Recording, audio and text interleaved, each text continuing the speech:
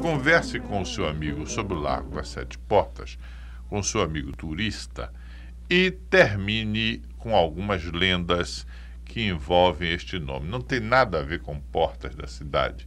Um simples armazém com sete portas, sete portas de entrada e saída para pessoas comprarem, que gerou o nome de Largo das Sete Portas.